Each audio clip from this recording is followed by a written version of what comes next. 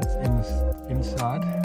Most of the guys either cut it and leave the hook in, but the best way is just to take this. What you normally do is you take this lure, pull the lure off.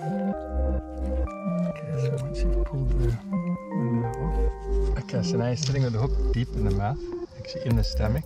So some guys think it's clever just to cut it off and leave the hook. But all you do is you bring that hook through the gill plate, like this.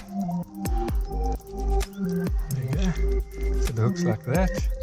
And you just use this finger and you just pull on the hook. Like that. And the hook comes out. There you go. The fish is happy, and damaged.